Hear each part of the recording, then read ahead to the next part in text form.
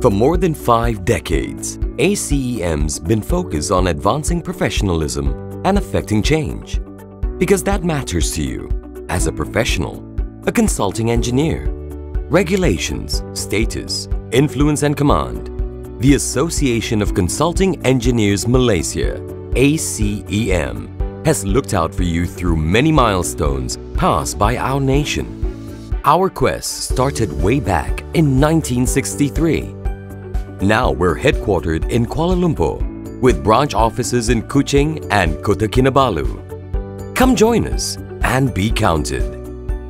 Our goal is about empowering, looking into your interests, rights and privileges, availing a platform for your voice to be heard with the government, public bodies and industry associations as well as extend cooperation with related bodies and stakeholders. ACEM. We're here for a reason, and that's to keep you at the forefront of your profession.